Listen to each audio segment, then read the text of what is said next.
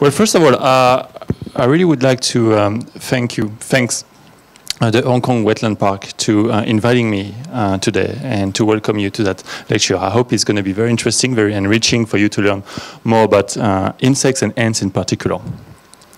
So I work on ants um, for many years now, and there's many things that intrigue me that uh, I'm always being more and more interested about them and discovering new aspects of their ecology, of their diversity.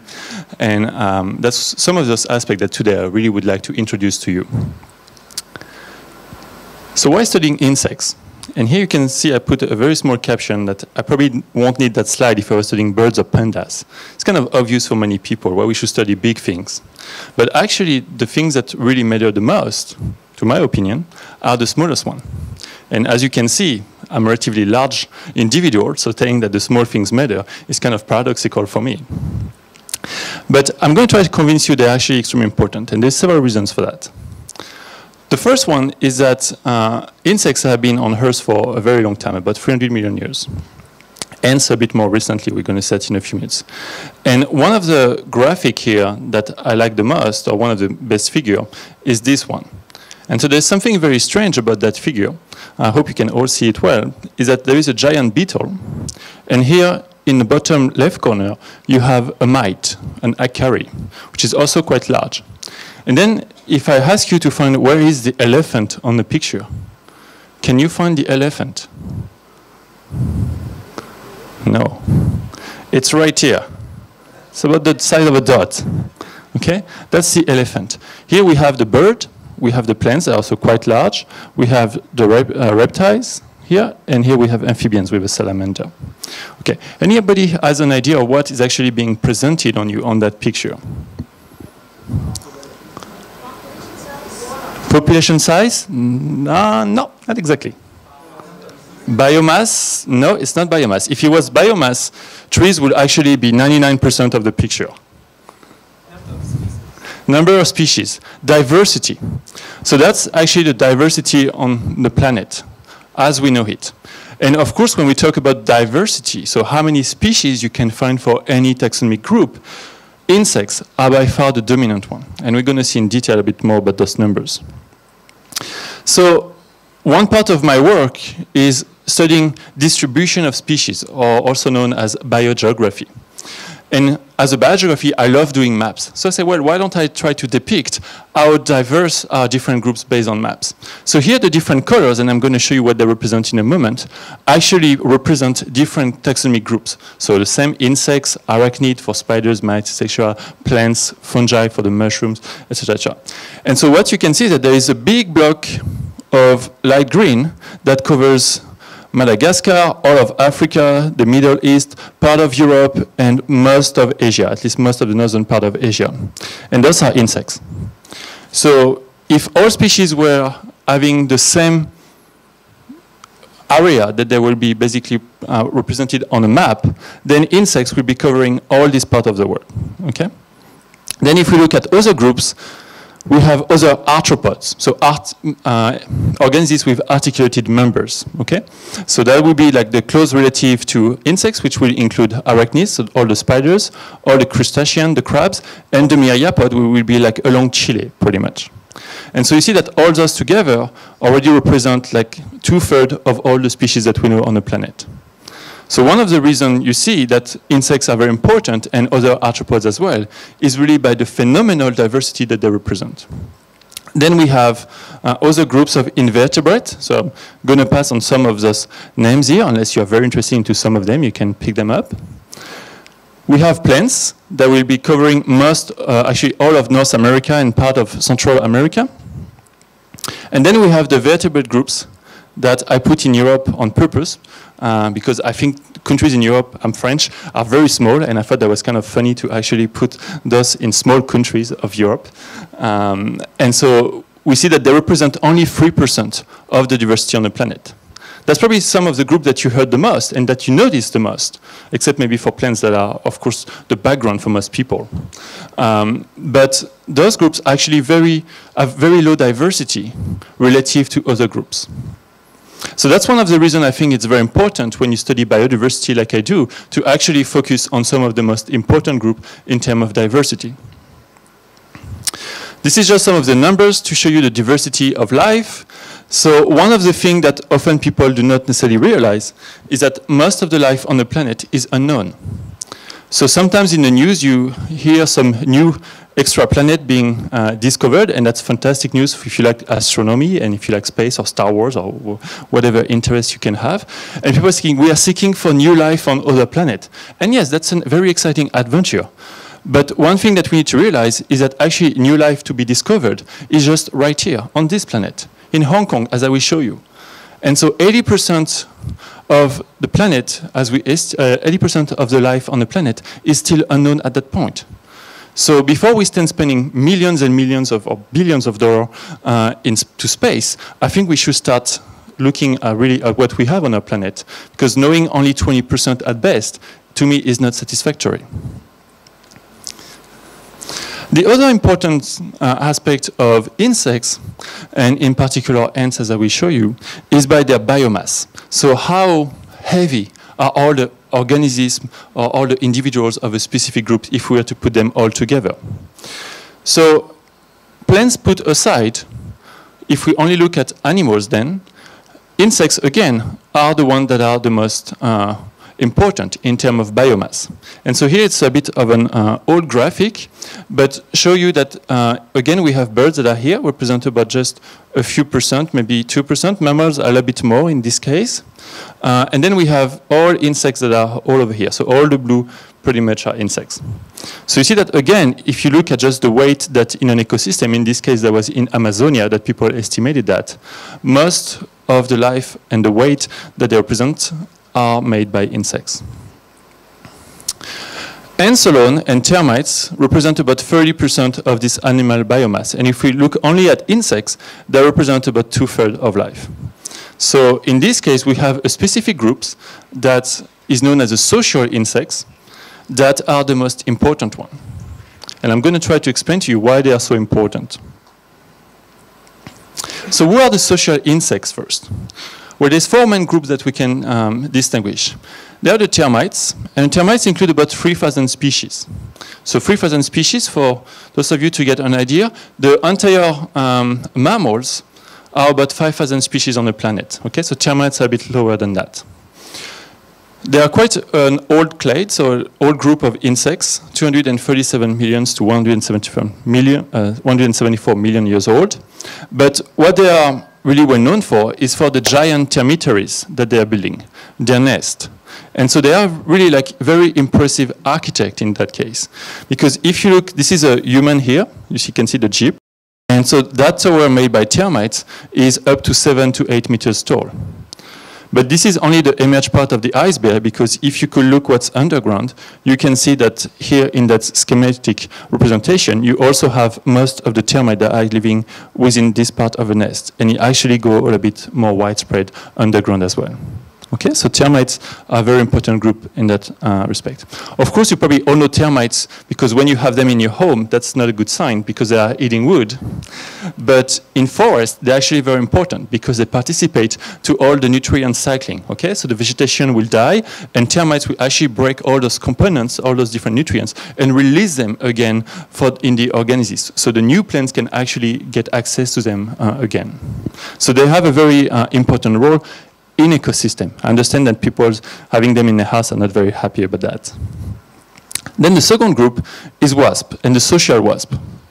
So often when people think about WASP, they are thinking about this kind of WASP like this. And the social WASP are about just a, a bit above 1,000 species. But if we think about WASP in general, we can see that they are way more diverse, 110,000 species. Okay, so the social WASP are just a tiny minority of this. Most of the other one you will probably never notice unless you come to my lab uh, because they are very, very tiny. And most of them are so-called parasitoid. Okay, they have a way of life where they will actually lay an egg either on the body or directly within the body of another insect or another arthropod, and the larvae will actually feed on that body. If you've seen the movie Alien, you have the perfect representation of what the life cycle of a wasp is. Wasps are also good because they, they do different type of nests that are more like carton nests. So they will take some vegetal material, chew it, and create a carton, a paste that will solidify with uh, the ambient air. And so you can see those very nice structure that are made of different alveoli, where the, um, the wasp will actually lay the eggs and maybe for some of them also store some of the food. Then we have the social bees, which have about 2,000 species.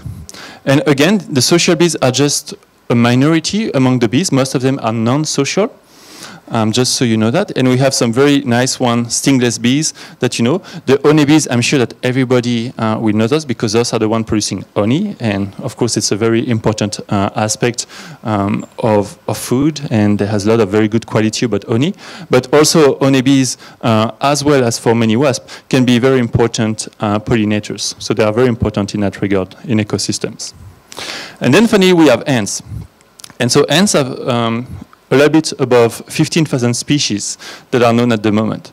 So by far, they are the most diverse group uh, of social insects. Okay, so five times higher than the, the termites, for example. And so they are dated for about 140 million years for the origin of uh, of ants at that time. And so here you can see uh, an ant nest with one of my colleagues who is about that tall, Joan Halley. Uh, and so you can see that the nest, again, is just the emergent part that you can see. We'll see later that it is much, much larger part underground. And then we have some other social insects, um, such as some species of aphids or thrips or even some beetles, Coleoptera. Um, that's, but it's only a tiny, tiny fraction for some of them, so I'm not going to spend much time on those. Hoopla. Oh, sorry, I'm just going to pass that. Sorry, it might be too long otherwise. So just how evolution of sociality has arisen. And I'm just going to stop on that slide to show you that something like parental care, for example, where you're taking care of the young uh, from the, the mother or even from the father point of view, is something that is quite widespread. We often associate those kind of behavior as something like very evolved in humans or other animals. In fact, many arthropods that we tend to consider more primitive uh, express this kind of behavior. So here you can see some uh, arachnids, those are called amblypygid, are carrying the young on the back. Okay, so you can see the white parts. And you can have some spiders carrying the eggs uh, in a silk cocoon, so they actually protect them. Here we have another spider where the young actually hatch from the cocoon and they are all on the back of the mother. And even here some uh, millipedes, uh, centipedes, sorry, I, that are protecting the eggs. I actually found one just like that yesterday by pulling a stone. So you can find them in Hong Kong, it's very common. And then, sorry, I'm just going to pass again of this one to reach what we call eusociality, which is the very last step of sociality, which include uh, reproductive division of labor. Sorry, I thought I removed that slide. Okay, so I'm just going to introduce you what a colony of social insect is actually made. So this is an example with termites. And here you can see that you will have different members. We have a queen, which is right here, which is much bigger than any other termite in a colony. And the part that is especially large is actually its abdomen. Okay, so you see this is the part right here. Why the abdomen is so large? Anybody has an idea? Yes? It's carrying its babies. Yes, it's what is happening. Actually, the queen is a factory to produce eggs. So they're not yet babies, they are eggs at first. And here we can see there's some eggs. Whoop, they are right here. I don't know if you can see them well. So they are very small. But in that part of the body of the termite queen, you will have thousands and thousands of eggs that will be produced. And so here are the eggs. Whoops. And we have a very young worker that is right here that I also picked up on the picture. So this one is very young. You can see how small it is in comparison of the queen. And then we have a king. So one of the distinction between termites and other Hymenoptera, Hymenoptera being uh, the, uh, the ants, the bees, the social bees, and the social wasp, is that we have a queen, a king. Okay, so the male will actually stick around and be with the queen. Then we have the Hymenoptera, so here the bees, where we have workers, a queen that will be bigger, but not extremely much bigger than um, the workers, and then the males, the drones. So in this case, we don't call them queen. don't call them king, sorry, because actually the male will just mate with the female and then he will die. Okay, so sad life of uh, male bees. And then we have ants. And here's an example of um, maybe an example that you heard about, which is the fungus growing ant, where the queen is much, much larger than the workers. But if you pay attention, you can see that there is something particular with the workers, which are all the smaller one here, is that there is also difference in size in the workers. So this is very important for uh, several species of ants where the workers can have multiple size. And usually one of the very simple classification we can make, we call them minor and major, or minor and soldier.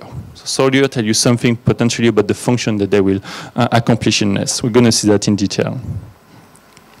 So just to show you that, don't think that necessarily all the queens are larger than the workers for ants because we have a lot of variation that we observe between different species.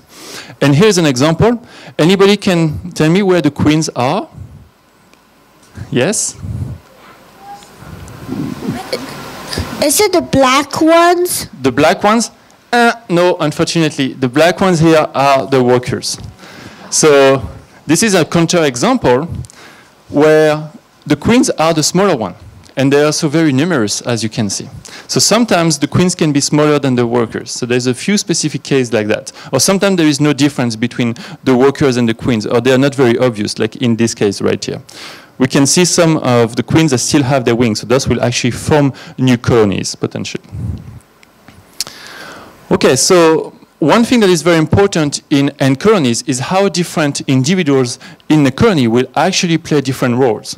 And so we've seen that the queen does most of the reproduction by producing a lot of eggs. Okay, the eggs will grow, become larvae, and from larvae they will um, pupate and then become um, workers. But we also have soldiers, so they will be doing the defense. So here we have a very large soldier, and we have some very small minors. And all are, those are all sisters. They all have the same parents, but they actually are very different. And they are different because when they are larvae, they are being fed differently. And they are also being manipulated differently. And that will trigger different mechanisms for them to grow as soldier or as minor. Most of the time, you will have actually a minority of larvae that will develop as, as soldier, because those are very costly to produce. And they're also kind of um, clumsy, if I can say. So they, can, they are also very limited in what type of tasks that they can do. The tiny workers, they can do many, many things, like take care of the young, they can build the nest, they can uh, forage for food, protect the colonies. Those will basically being only good at one thing, which would be protect the colonies. Okay, so they are soldiers. Here's another example with some army ants where the soldiers have very long, um, like razor sharp type of mandibles, and so those will be very good actually at cutting all kinds of prey or any um, opponents that might try and actually attack the colony. Here's another one of a soldier, another example. Can anybody can guess why the soldier has a very flat head like that? What does it remind you of? Yes? Uh, is it for attack for attack? Attacking. No. Like a ram? Yeah, more questions? More answer? A shield. A shield. A shield? Yes. Ah, one. A shield. Yes. So it's not because I'm French, but I think about a cork. Okay, like closing a bottle. And actually, those soldiers will have a very specific function, which is to close the nest entrance. Like a cork will come and close a bottle, or like a shield could come and maybe close the entrance of I don't know what.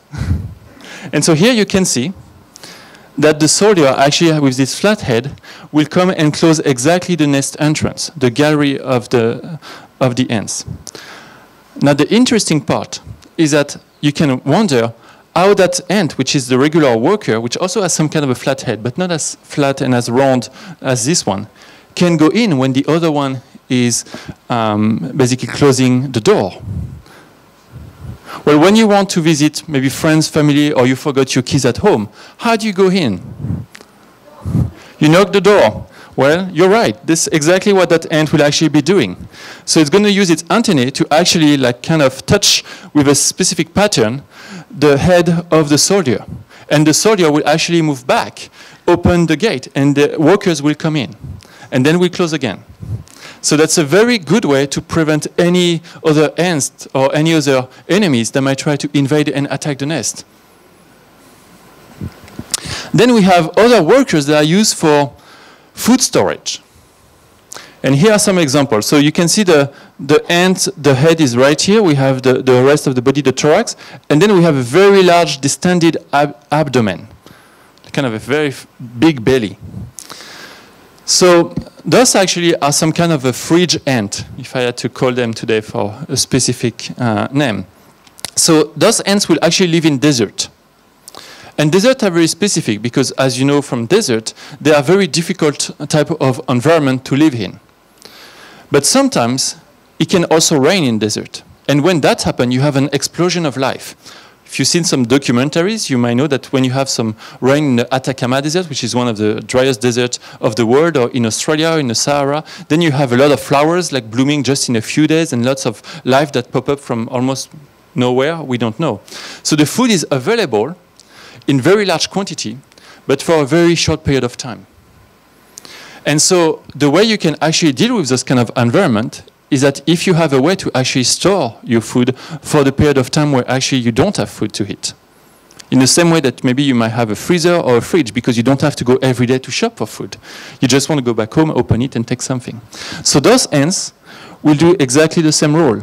They will store the food when food is very abundant and kind of regurgitate it to their other nestmate to provide it during the time actually when the food is very scarce. So this is very ingenious in a, in a way. Then we have other ants that uh, are much larger, sorry, because uh, by being large, they can transport more food. So they're kind of cargo. If you think about the road, when you have uh, a lot of things to carry, well, you put that in a truck, not in a small car. This is in the same way uh, the large soldiers or large workers can be used for that purpose.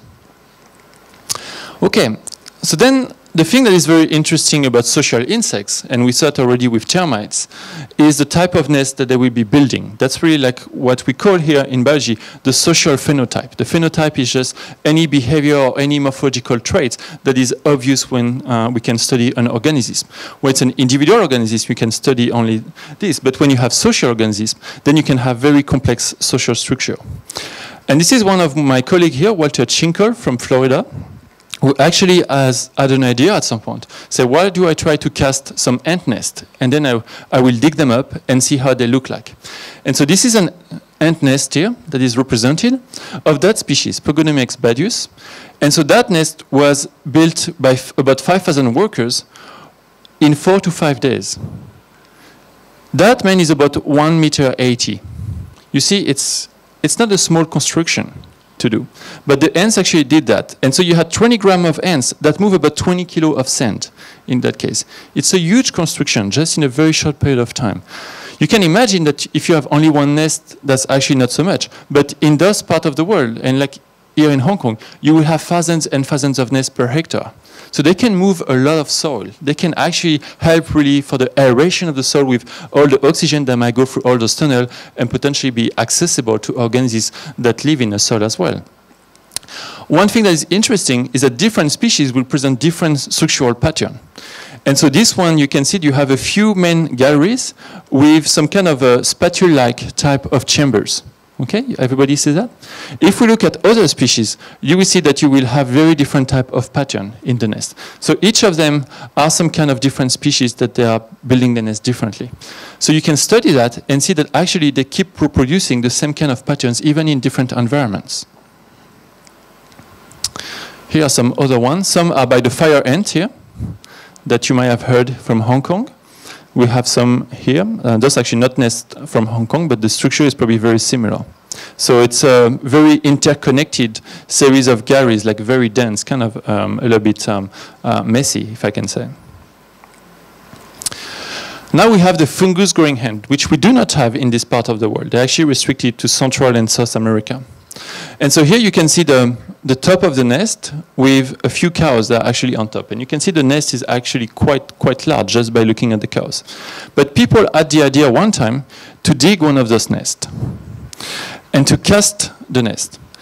And so the way they did it is that they took a big truck that was full of cement, of concrete, and they say, okay, let's pour all the cement we can in the nest. And they did that, and they finished the first truck.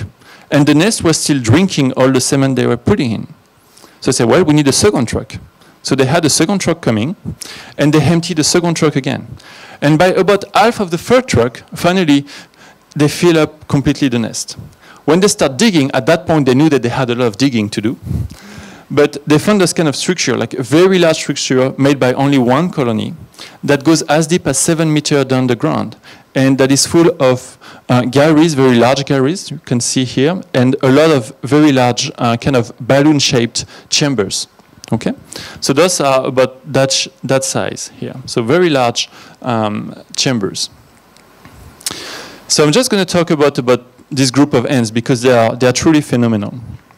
It's not a very diverse group. There's about 200 species, uh, again, all in, in Central and, North and South America.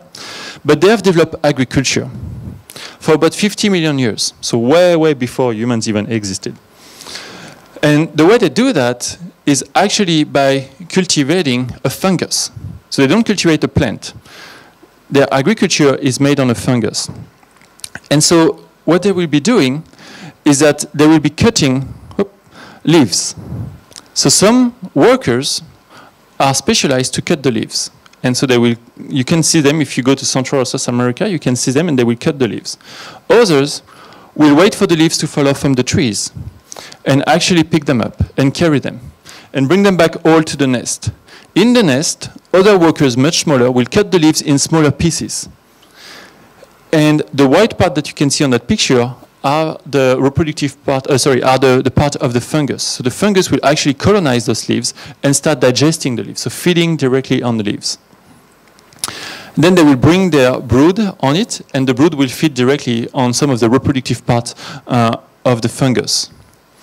And finally, the queen uh, will also be very happy having a very large nest um, in this type of structure.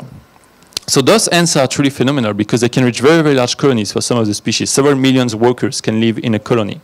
Uh, and they can defoliate a very large area. Like in a night, they can completely defoliate a tree that might be like 45 to 50 meter tall. So uh, it's a huge um, amount of leaf being bring back to the nest every single night.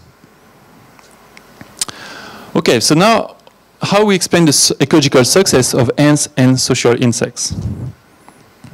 So first of all, many of them are predators. They are not just farmers. We've seen some that were uh, having fungus. Most species will be predators. So when you see an ant, um, it's not just going for your picnic, um, but often what it does, it will actually try to capture all kinds of other insects. So here we have some army ants carrying a cockroach. So some of you might be happy to know that. They will hit some cockroach. Uh, here's a picture I, I found of an ant actually attacking an hermit crab. So they are really fierce predators. They attack even prey items that are like thousands of times or hundreds of times, in this case, uh, larger than them. Here we have one capturing a wasp, and here are an army of uh, acrobat ants actually attacking a spider. Okay, so they will really attack all kinds of insects, herbivores, other predators, or not just insect actually, but also some crustacean uh, or some um, spider arachnids. They're also very good at cleaning. So there is an ant that is carrying something, and on this next picture, I show you actually how, what it's carrying. So this is the skin of a spider. So spiders, you know, have to molt if they want to grow, and the skin is left behind. So that ant was actually just like cleaning what he could find uh, of the leftover of a spider to eat some, some of the uh, part of it. But so what you can see also is that ants are very strong. They can carry weight that may be like sometimes um, several dozens of times uh, heavier than their own weight. And so they will be cleaning pretty much everything. If there is some um, dead mammals or dead birds, they will also contribute to clean um, this, uh, this kind of carrion. They're not the only insects doing that. There's a lot of beetles doing that. There's a lot of diptera that are very important. And if you think in terms of diseases, that's a very important role because that actually prevent diseases to spread to uh, other parts of the population of other birds or other mammals that could be infected. Oops. Okay, so this time I'm going to talk more about plants. Any people who love plants here? I like plants. Are very interesting. But I love them even more when they start interacting with ants. So I have a little bit of a role playing for you. Imagine that you are a plant. Okay, just take a minute. You are a plant, everybody. Oh, Try to capture all the sun, uh, the sun rays to actually do photosynthesis. Okay, that's very important. And you do that with your leaves. One of the problems that you have is that all the plants around you are trying to do the same thing. And if the plants, if the plant beside you actually grow faster than you, then it might actually shade, pro project some shade on you and you have less sun. And if you have less sun rays, you have less photosynthesis. So that's not very good. So you can invest all your resources if you want to grow and grow fast. But then there's a problem with that. Because if all your resources go for growth, which obviously I did, then you have a problem because you can be attacked. You are more vulnerable against herbivores, and in particular insects that can attack you. So the plants to actually protect themselves against herbivores will produce secondary compounds, so molecules that will be acting almost like insecticide that will produce, to make it very simple. So the problem is that there is a cost you can produce more defense, but there is a cost of that. Or you can grow very fast, but there is a cost also of that because you're more vulnerable. So this is kind of the dilemma that you have to deal with. Well, some ants, actually, some plants, sorry, uh, have actually found an alternative to that, how they can have very fast growth with also protection. And that's by hiring a bodyguard. Okay, so you can have a big bodyguard. Oops, here's my bodyguard. And so that's very interesting. I can have one bodyguard. Maybe my wife loves to have me as a bodyguard. I'm tall, I'm a big guy, so okay, nobody will take care of her. The problem is that if you're a big tree, having only one bodyguard is not very efficient because your bodyguard might be at somewhere on the plant, but at the same time, you might have like other herbivores all over other branches that might be attacking the plant. So the best solution is not to have one bodyguard, but to have thousands of bodyguards. Whoops. And here are my thousands of bodyguards. And so, of course, I'm talking about ants here. And so this is one of the bodyguard of some plants. So those examples are actually from uh, Central America, but we have some in Hong Kong as well. And so the plants will produce something, which are domatia. Basically, they are just like hollow stem. Okay, so they just produce some, some branches, if you very short branches. They're a bit modified, but they are hollow. So the ants can actually nest in there. So the bodyguard will be hosted directly. Sometimes the plants go even further than that and produce some food. So it can be for sugar, or in this case, uh, that we call the Beltian bodies, they might have some proteins. So there's a bit of a cost. But there is a big advantage, is that the ants will actually protect the plants very efficiently against all herbivores. And so here are some examples with the Cecropia plant, which is, uh, you can see the nest of ants is right here. And the ants are all over the leaves in this example. So you see all the ants are that. In the underside of the leaf, they are waiting there. And as soon as you have an insect that lands on the plant, the, actually the ants would just jump on it and grab him directly. And even if the insect is thousands of times larger, they will collect it. In the case of that moth, that individual didn't have any time to lay eggs that will maybe hatch as caterpillar and hit the leaves later, because that plant was very well protected against um, herbivores by ants. They are also very strong. They can actually uh, support uh, a lot uh, of weight. And so you can see here that the researcher who did that experiment was from Europe because those are euros. Um, and it's also helping helped by the plant. The plant will have specific structure that will use like that will be uh, acting like Velcro. And so the ants plus the specific structure of the plants will actually help to um, catch the, the prey that will be coming. Ants do not just do that. Sometimes they go even further, where they build traps. So that's another example where you have the stem of the plant, and that structure that is um, being magnified here, you can see that it's some kind of a tunnel-like. So you can see it over there. And there's plenty of little holes. So those ants are very small, but they're also pretty smart, if I can say. Because they will build that tunnel-like structure that they will be waiting for. And when an insect comes in, they just come and from nowhere grab the legs and pull the insect on against the tunnel and then start eating directly on the, um, on the insect. So it's very efficient. And so they develop traps, which can seem quite uh, advanced. But the story goes even further. So this is an example in Africa where you have this structure where the ants will actually be nesting in. And it also very helpful to re repel larger herbivores, and in this case, elephants. So people have conducted studies where they actually figure out that ants, even if they are very small, can actually even repel the largest herbivores, like elephants. And how that happen? Well, that's pretty simple. If you have like a fire ant colony, try to put your hand in there. You will see how long you last. Not long. Well, imagine now that colony is right on a tree and an elephant that comes and will try to hit the leaves will be attacked. And you say, well, but elephant skin is pretty thick. Yes, but he has eyes, he has nose, he has like hairs, and the ants are just coming all over. And once you start doing that, you can imagine the elephant just go crazy and just run away.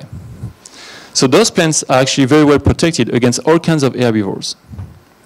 And they are pretty small here, here they. So one of the examples I really like is actually one that we found right here in Hong Kong the weaver ant, Oecophylla. So this is a very interesting example because that's um, a group of insects, a species of ants that people have been using for a very long time in agriculture. Before they had pesticide and insecticide, and even now people keep using them. They were actually using, using ants to protect the orchid trees. Because those ants can actually be move around between different trees, and I will show you why in a minute but they're also very aggressive. So they will attack any other insect that will come on the plant. And so here they are attacking different groups of insects and they are communicating with each other, which is very good. So the way they are, so they are territorial, aggressive, and have very good communication, which is perfect for those kind of ants. And so here's a nest, and the nest basically is composed of multiple leaves that are being tied all together. And what's interesting, if you pay attention, is that you have some kind of a white structure right here. Anybody knows how that white structure is made? Because it's, it's really like linking the leaves all together. Okay, well, I will tell you the story, so don't worry. Okay, so first of all, the ants will actually create some kind of bridges using their own bodies to actually connect one leaf to another. Once they have reached the two leaves, they will start pulling the leaves closer to one another. Of course, they will not stay like that forever it will not be suitable for anybody, not even for ants. So what they will do, oh, here we can see they start bring, bringing the leaves all together. What they will do is that some of the workers will actually go back to an old nest and bring the larvae. And the larvae produce silk. Okay?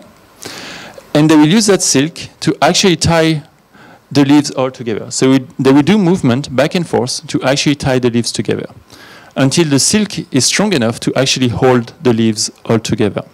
Okay? So, I have to say, weaver ants are not afraid of child labor. Uh, that's actually how they survive and that how they are so good. One other important ecological role of, uh, of ants in nature that uh, often people don't realize is uh, how they are very important for seed dispersal. So many plants uh, around the world are, have the seeds being dispersed by ants. And here's an example of a seed. And there's one very simple way you can say that, is because often when you see those seeds, they have something very specific, which is that yellow part here, which is called an elaiosome. And that part is actually full of lipid. It has no role in germination. The only role of that part is to attract the ants. Can, you see what kind of advantage a plant might have to be dispersed by ants? What the ants might be able to provide? What kind of benefit?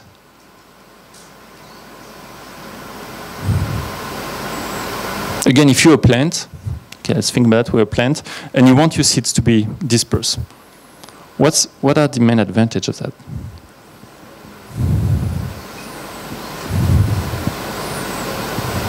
Nobody? Just an idea? Well, distance. Maybe you want to be dispersed far away, so you're not in competition with the tree that actually the, the mother tree. Okay, so that we one. Then there's predation.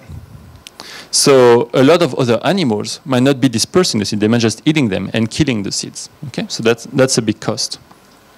Ants will actually protect them against that because they will carry the seeds underground, under the nest. Uh, sorry, in their nest. So the seeds will be protected. And as I show you, once you're in an ant nest, it's a pretty safe place because ants are pretty aggressive to defend the nest. So if anything tries to, the ants will be attacking. So for the seed, it's the best place. The other thing that is great for the plants, actually the two other things that are great. One is that the ants will not just bringing seeds, but bringing a lot of other like insects or other piece of uh, vegetables or everything.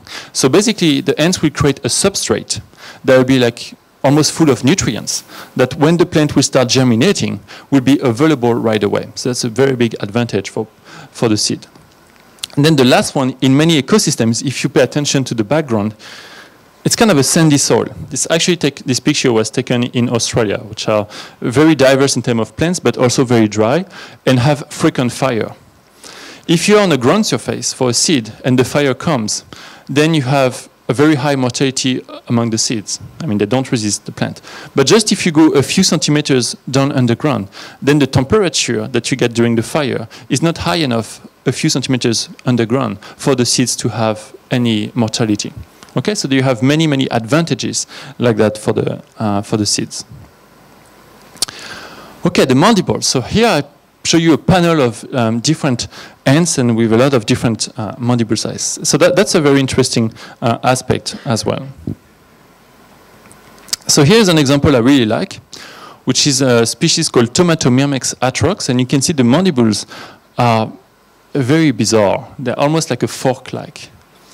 And so for a long time, people start collecting that ant that is quite rare, and they were wondering, why that ant has mandibles just like that? What could that be for? And at some point, somebody again made an observation. That ant is actually eating those kind of, of, very small millipedes. Okay? And if you pay attention, you see they have plenty of hairs all around their body. Those are urticary hairs. They have some kind of poison on them. So if any ants try to hit them, they will be completely like unglued in some way by hairs. And actually the ants will actually die very quickly. But that ant right here will actually be able to capture the prey. And on the legs, they have an organ, uh, or actually a structure, it's not an organ, sorry, which is almost like a comb.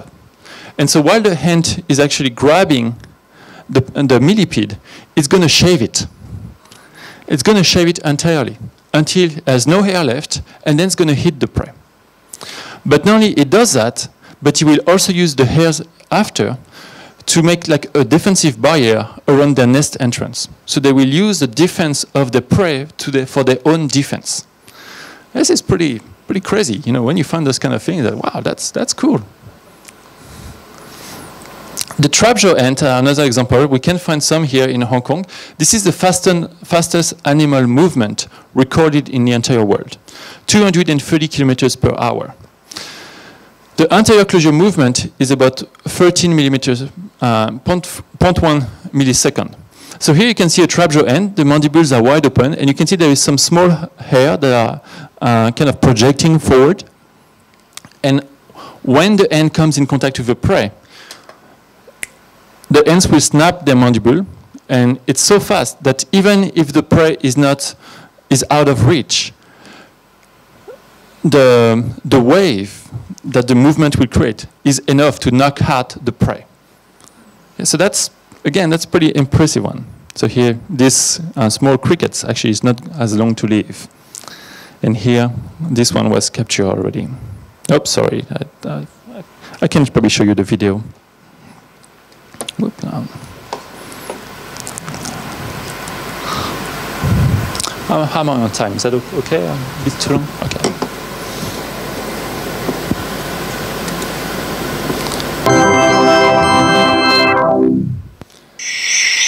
Okay, so here you see some of them.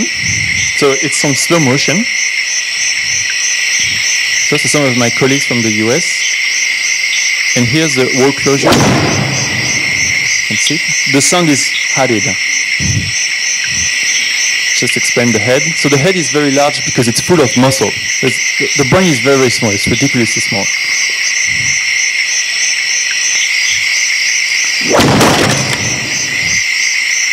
So create a very large impact for anything. So here's very slow motion.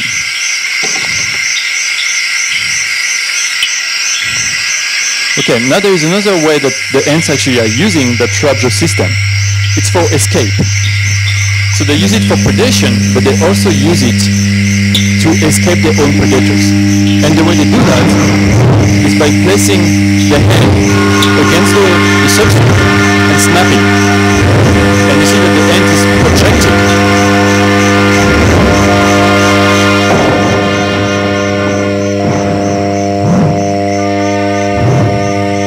And so they measured it, as you can see, in a very scientific and high technology method with a ruler.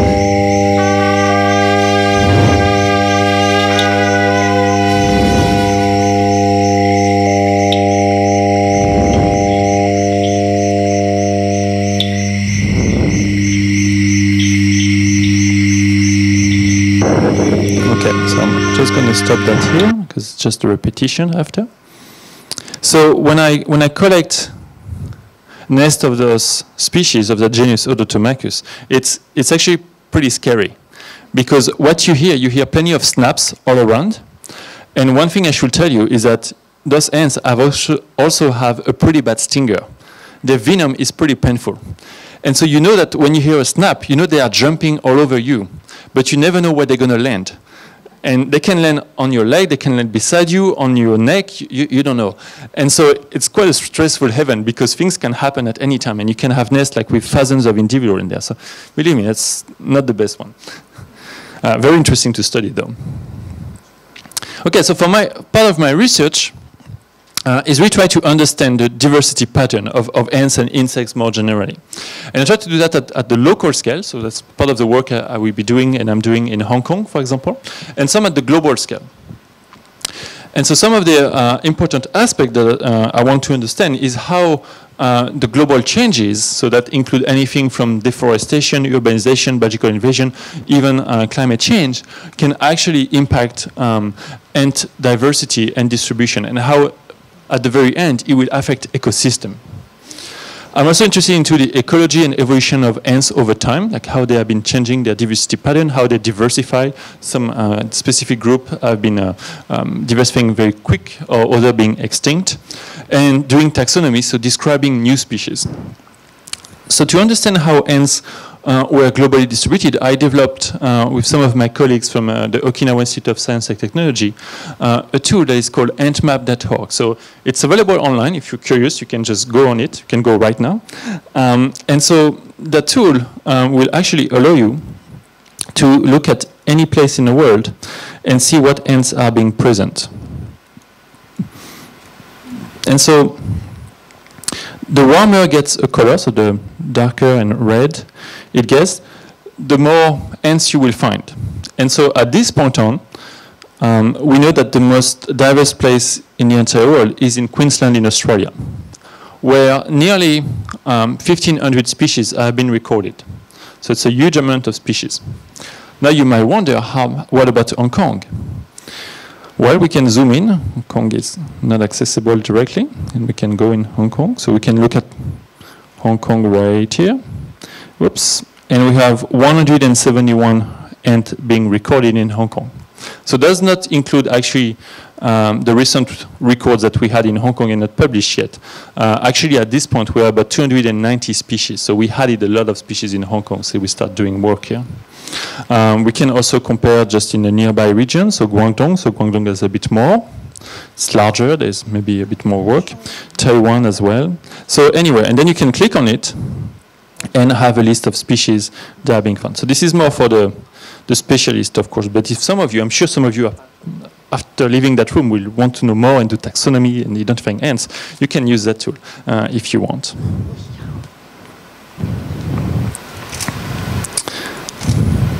So I also do taxonomy, which is uh, to me very important, uh, which is describing new species. Um, so here are a few examples that we did uh, that actually I did. So this one was from Yunnan, uh, very rare genus that we, we discovered. That was the, the second time that that genus was uh, collected ever, and that was a new species. Here, those are two species that we recently described, actually this year, from Singapore. Uh, don't think I only described yellow ants. Uh, I also do some, some uh, black one. So this one again was described from Singapore. This is one that um, we are, are describi describing from um, Henan province in China. And so I just want to ask you, so can you guess how we name that ant? Because we can choose the name. That, that's a great thing when you do taxonomy. You can choose the name of what you want. So if you look at the head, how will you name that, that ant? Any proposition? It's too late. I'm sorry. I'm not going to change it. But yes, no, no, no. Sorry. sorry. Uh, is it you?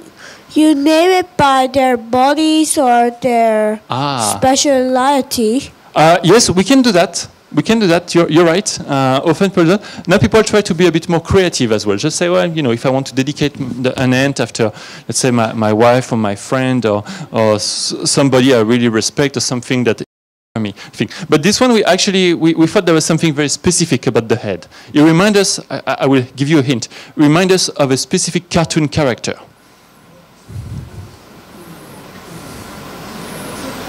Anybody has an idea? Okay, I, sh- I show you a picture. Do you recognize him? The Joker in Batman. Okay. So kind of kind of scary eyes like that, like kind of hypnotizing, and like the big uh, smile. So we we named it Leptogenys. That's the name of a genus. That's invariant. We cannot change it. But Jokery. Okay, so like the Joker. We and we had to Latinize the, the name as well. So you know sometimes you can have fun just by describing new species uh, as well, not just.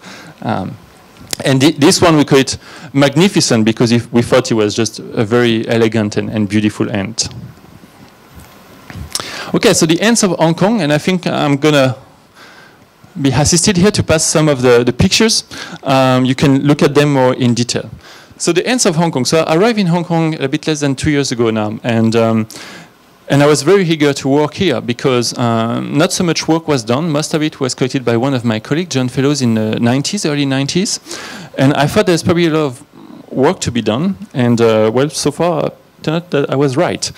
Um, and so there's a very important diversity of ants in Hong Kong. Um, and actually, one of the problems in Asia uh, is that there's very few places that have been very well sampled. And I hope, and we're really working very hard for that, that Hong Kong will become one of the epicenter for diversity of ants in Hong Kong because it will be one of the main uh, reference collection that people could use, not just for Hong Kong, but for Guangdong, for Macau, for Taiwan, for uh, other places all around. So that's some of the work we are trying to do here. And we have some very um, amazing species. So here's a species called Harpegnathos venator. I'm sorry, um, ants do not have common names. So we always use the Latin name. It's just the way it is. Uh, 15,000 names is just too difficult to memorize. Um, and so that, that ant is, is very incredible because, first of all, it can jump. Not in the same way that a trapjaw ant, as you already, can really jump using its legs. Um, but they have those uh, amazing mandibles that are very long, you can see, and are kind of curved. Okay, so they, again, they're using that to collect like uh, some insects. I don't know exactly which insect actually they are collecting, but you can see they also have very large eyes. And what it's telling us, it's that it's an ant that actually will use vision to orientate itself in the environment, but also to um, approach and catch the insects they will be collecting. One that I really like is the foamy ant, which actually turned out to be the larger ant in Hong Kong. It's about 1.5 centimeters. And we call it foamy ant because when it's actually being attacked, uh, it produces foam. It's, it's real foam. Uh, you can see the bubbles. Here, a fantastic picture from Alex Wild, one of my colleagues. So you can see all the bubbles are being produced. And uh, don't try to grab it with your with your hands because it has a pretty bad stinger. So don't don't try that. But if you have tweezers, you can try. It's a really largest ant, and I promise you, it will do that. Yes.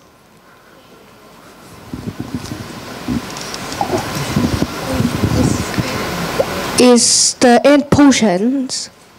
Is the ant It, poisonous? Ah, uh, no.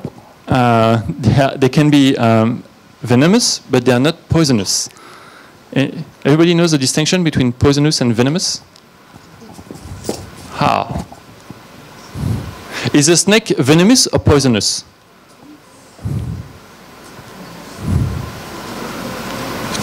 Snakes, uh, some, of, some of them, not all, but like a cobra, for example, is that a venomous snake or a poisonous snake? How do we say that?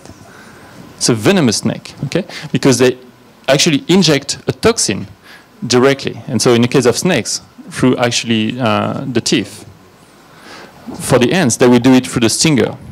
Poisonous will be the case of some frogs, for example, that if you hit them, then you have poison that is coming. So if you eat those ants, they are not poisonous, but if they sting you, then they are venomous. Okay, so those ants are venomous, they're not poisonous. Just quick distinction here. So that ant, actually, you can, um, you can see them in, in Hong Kong. They are very common. I, I, collected a few yesterday. I don't think I brought any with me today. Um, but they are very interesting to produce that foam. So now one of the questions that we have is, why do they produce foam? Yes? Because they need to shave, maybe? Because if any enemy attack him, he could use the foam and let the enemy to can't see him and he escaped quietly. That's exactly that. You, you, can, you can come here and give the rest of the talk. That's, that's exactly. Yes, so, so the, the, the, worst, the worst enemies, let, let me give you a few more details. The worst enemy of ants are other ants. Okay, they eat each other all the time, and in particular, the one that we called army ants. Okay, army ants are kind of, you can imagine like uh, barbarian raiders, just like attacking any other colony of ants that they can find out. Those ants, they are very large individually, but they have very small nests, 30 individuals maximum. If you're large, like me, I can maybe like take a smaller one easily, like, oh, I can push you. But if I have 100 or 1,000 attacking me at the same time, I promise, I will be overwhelmed very quickly. This is what is happening with those ants. And the army ants, contrary to the, the that ant or the Harpegnathos we saw earlier with large eyes, the army ants are blind. They only rely on pheromonal communication, so chemical communication to direct themselves. There's some properties that that foam will do is actually going to create like almost um, a shield, a chemical shield where the pheromones will be completely um, lost in the process within the, within the foam. So when you have a nest where you have a gallery of that very large ant and you fill it with foam, it's almost like you fill it with some kind of uh, chemical barrier that the army ants cannot go through. So they will hit that barrier and they will just keep going like away. Okay? So even if they are large ants that you can think they can protect themselves pretty well against other ones, you can be overwhelmed very easily if you have more workers. And in a case of that ants in their nest, they can actually block like those, uh, those nests, the entrance, by producing foam. So it's very, very efficient. More recently, I also observed one of those ants that was kind of, um, we, we put baits to attract ants, and one of them came, but it came late. There was another species, a genus called Pheidole, that had like hundreds of workers exploiting the piece of, of uh, sausage we actually give them. And that ant came, and start spreading foam all over. So it was very, very surprising. But the result was so efficient that just a few minutes later, all the individuals of the smaller species Pheidole were completely gone. They were completely panicked. They all escaped. And that ant had all the sausage for itself. So it was actually very, very efficient. Um,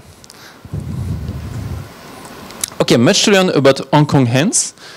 So those are a few species that we discovered. Uh, this one, actually, I found it was I was teaching uh, insect ecology in um, in a oh, and I just found, in, found an ant. Oh, I don't think I've seen that ant yet in Hong Kong.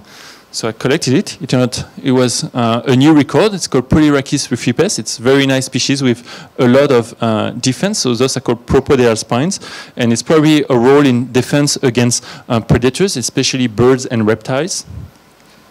And that ant was, that's the distribution as how we knew distribution of that ant. So I use AntMap, my own tool, as quite efficient. And you can see that the closest record that we have were from Yunnan in China. So we have kind of a, a very large, uh, a quite good, sorry, extension of range of that species.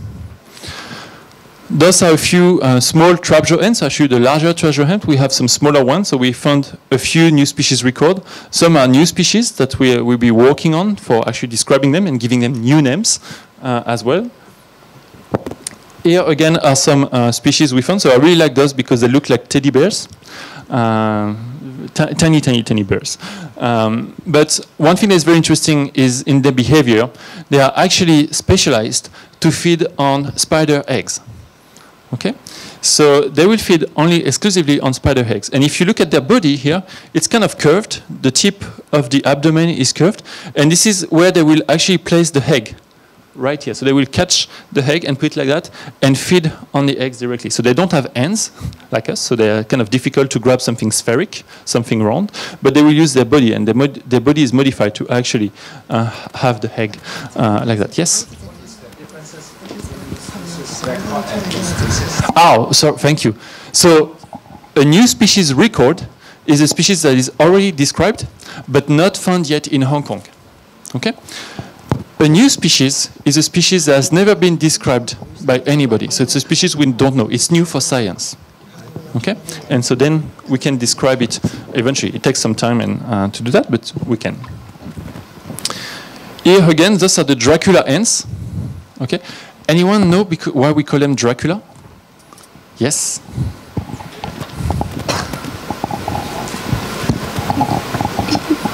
Maybe they drink blood. They drink blood. They do. They do drink blood. Um, they don't drink our blood. They drink the blood of their own larvae. So for insects, blood is actually called hemolymph. That's the term. Uh, but they will actually drink the blood of their own larvae.